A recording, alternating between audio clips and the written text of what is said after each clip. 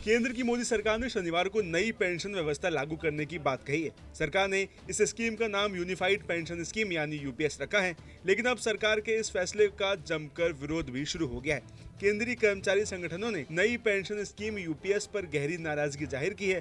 कर्मचारी संगठनों के पदाधिकारियों का कहना है कि सरकार ने कर्मचारी वर्ग के साथ छल किया है। यूपीएस को मंजूर नहीं किया जाएगा। साथ ही उन्होंने कहा कि केंद्र सरकार और विभिन्न राज्यों के कर्मचारी संगठन जो ओपीएस के लिए आंदोलन कर रहे थे, वे जल्द ही अपनी आगामी रणनीति का खुलासा करेंगे। वहीं नई पेंशन स्कीम का विरोध करते हुए national mission for old pension scheme Bharat के राष्ट्रीय अध्यक्ष कहते हैं कि सरकार ने यूपीएस लाकर कर्मचारियों के साथ छल किया है। यूपीएस में सरकार ने अपने कंट्रीब्यूशन जो अभी तक 14 प्रतिशत था उसे बढ़ाकर 18.5 प्रतिशत कर दिया है। यहाँ तो सब ठीक है, ये बात काबिल तारीफ़ भी है, लेकिन हमारी मांग रिटायरमेंट पर 50 प्रतिशत बेसिक सैलरी और डीए अलाउंस के बराबर की थी, न कि कंट्रीब्यूशन घटाने या उसे बढ़ाने की। वह इनके साथ ही केंद्रीय कर्मचारियों के एक बड़े संगठन confederation of central government employees and workers की महासचिव ने कहा कि हमारे स्टैंड क्लियर है। सरकारी कर्मचारियों को ओपीएस ही चाहिए यूपीएस किसी भी सूरत में स्वीकार नहीं करेंगे। सरकार की इस नई स्कीम को लेकर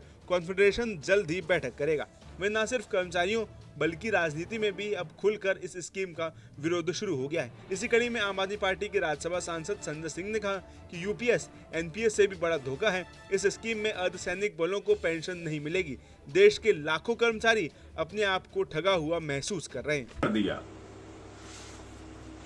वो इस दायरे में नहीं आएँगे। देश के पैरामिलिट्री फोर्सेस इस दायरे में नहीं आएँगे क्योंकि उनकी 25 साल की सर्विस होती ही नहीं। तो जब उनकी 25 साल की नौकरी होगी, तभी आप यूनिफाइड पेंशन स्कीम का लाभ उनको देंगे, वरना दस हज़ार रुपए की पेंशन उनको मिलेगी। दूसरी बात इसमें क्या है? कि जब से आपने अपनी नौकरी शुरू की, मान लीजिए आपने 40 साल नौकरी की तो हर महीने आपका 10 परसेंट सैलरी से कटेगा, पेंशन के नाम पे। और उसके बाद पूरा पैसा सरकार अपने पास रख लेगी। मान लीजिए एक लाख की सैलरी है, चालीस साल आपने नौकरी की, कभी दो लाख होगी सैलरी, आगे बढ़ के आपकी, कभी तीन लाख होगी। जितना पैसा आता है दस परसेंट के हिसाब से, वो पूरा का पूरा पैसा सरकार रख लेगी अपने पास। उसके बाद क्या करेंगे? अंतिम के बारह महीने जो हैं, उसका एवरेज निकालकर छह महीने की तनख्वाह आपको कैश में दे देंगे। और फिर ये कह रहे हैं कि एवरेज सैलरी निकाल के आपको आधा पेंशन देंगे। पहले तो आपने एक बहुत बड़ा अमाउंट कर्मचारियों का मार लिया। लाखों रुपए जो अपनी पूरी ज़िंदगी में उनके 10 प्रतिशत कटौती के नाम पे इकट्ठा होगा। दूसरी चीज़, आपने इससे अर्धसैनिक बलों को बाहर कर दिया। बड़ी संख्या में आपने इसमें कह दिया 25 साल की, जब न्यूनतम आपकी सर्विस होगी 20 20 साल से बढ़ा के उसको 25 साल कर दिया।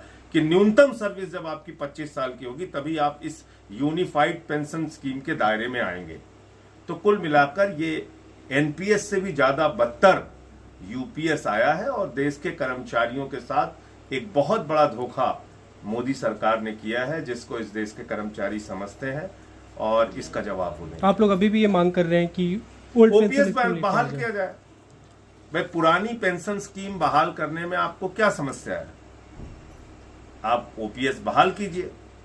और उसमें जो सर्विस का टाइम पीरियड है पेंशन के लिए, वो 20 साल है, वो 20 साल रखिए आप। आपने बढ़ा के 25 साल कर दिया। पैरामिलिट्री फोर्सेस तो बाहर हो जाएँगे ना इससे। नमस्कार, मैं हूँ मानक गुप्ता। अगर आपको हमारा ये वीडियो पसंद आया हो तो इसे लाइक और शेयर ज़रूर करें। और हाँ हमें सब्सक्राइब और फॉलो करना ना भूलें। ताकि आप देश और दुनिया की कोई खबर मिस ना करें।